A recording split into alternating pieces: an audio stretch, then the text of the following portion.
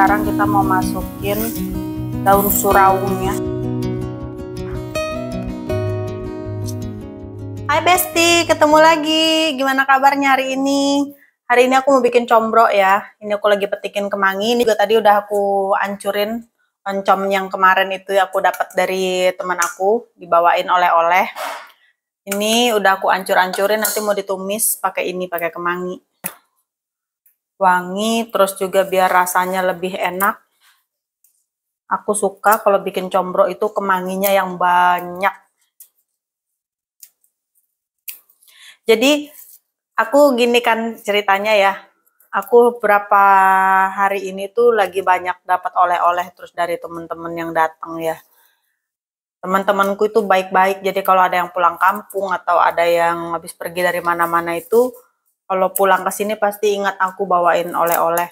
Walaupun oleh-oleh itu sederhana ya teman-teman ya. Jadi cuman bawain hal-hal yang sederhana tapi buat aku itu berharga banget.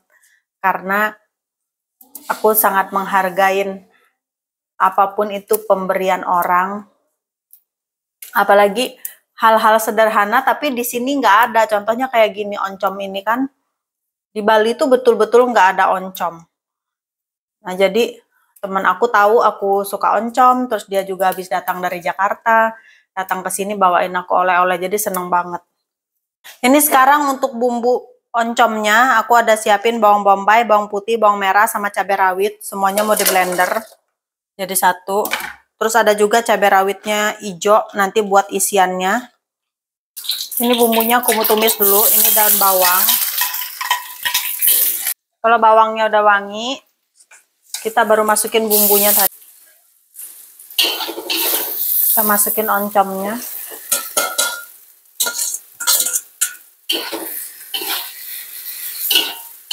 Ini kita kasih garam terus gula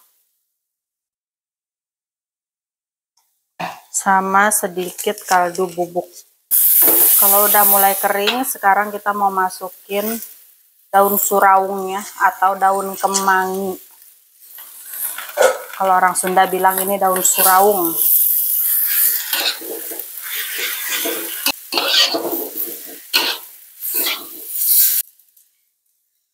Ini terakhir sekarang aku mau masukin cabai rawit hijau supaya dia layu sebentar.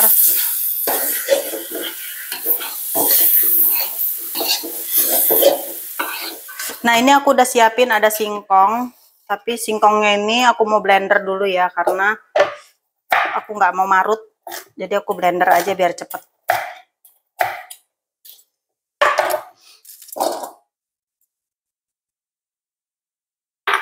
Nah ini singkongnya udah aku blender jadi kayak gini.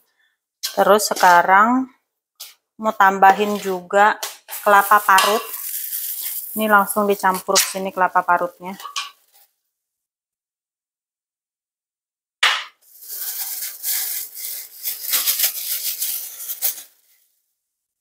kayak gini. Ini ada kulit-kulitnya nih. Kayak gini lah kalau beli di kang kelapa. Kalau kita nggak request minta dikupas kulitnya bisa item-item kayak gini nih. Lupa semestinya kalau kita mau bikin kayak gini tuh kita request ya teman-teman. Jadi minta kelapanya tuh dibuang kulitnya gitu ini aku lupa tadi aku nggak mesen nih. Sama ini juga aku mau tambahin dua sendok wah patah sendoknya. Dua sendok makan margarin. Supaya nanti itu hasilnya lebih creamy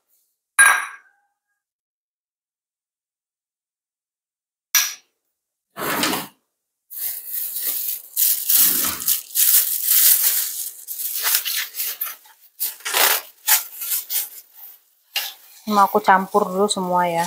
Ini sebagian aku mau sisihkan untuk nanti kita bikin misroknya jadi kita pisahin dulu kasih garam.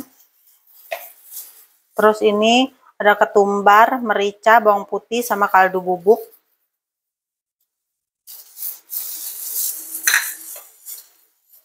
Terus masukin juga daun bawang. Ini kita aduk semua jadi satu. Ini kalau udah kecampur semua jadi satu kayak gini. Sekarang tambahin 2 sendok makan tepung, aduh kebanyakan, tepung tapioka. Atau sesuai selera ya. Ini banyaknya tepung tapioka ini menyesuaikan. Kalau kita mau dapat tekstur yang lebih crunchy, garing gitu, tepung tapiokanya sedikit aja. Tapi kalau kita mau dapat e, tekstur yang lebih chewy, boleh agak banyakin tepung tapiokanya. Kalau aku mau dapat yang agak crunchy, jadi ini tepung tapiokanya aku sedikit aja. Ini kita padat-padatin gini tuh ya, udah. Jadi ini isiannya, kita isi, terus kita tambahin cabai rawit satu supaya nanti pas dimakan itu lebih jeletot gitu ya pedasnya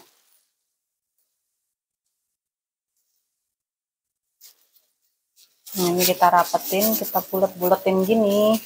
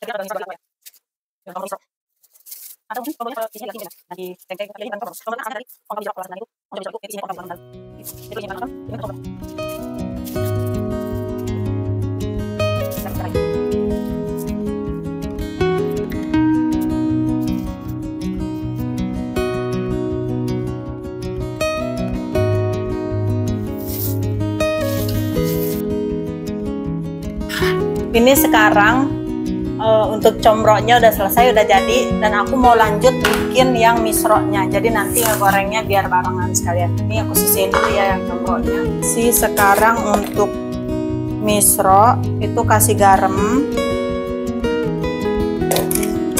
Terus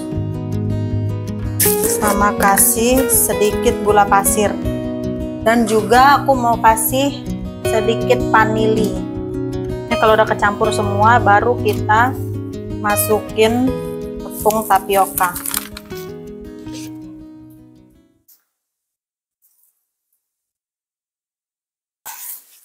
Nah sekarang kalau untuk misronya aku mau bikin bentuknya bulat-bulat supaya nanti membedakan dia sama misro eh, sama combro jadi nggak ketuker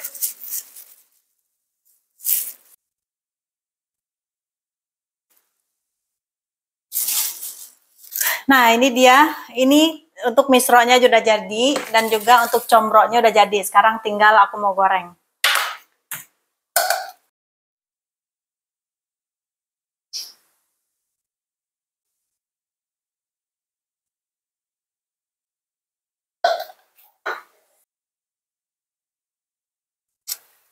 Oh, jadi ini combro sama misro aku udah jadi.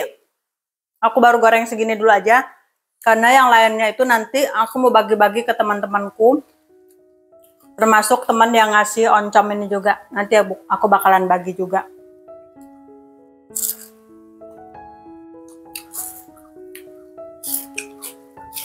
Itu ya misro uh, uh, maaf. Baru bangun matang jadi kepanasan. Hati-hati lah. Gulanya manis meleleh jadi masih panas nempel di lidah jadi banget hmm.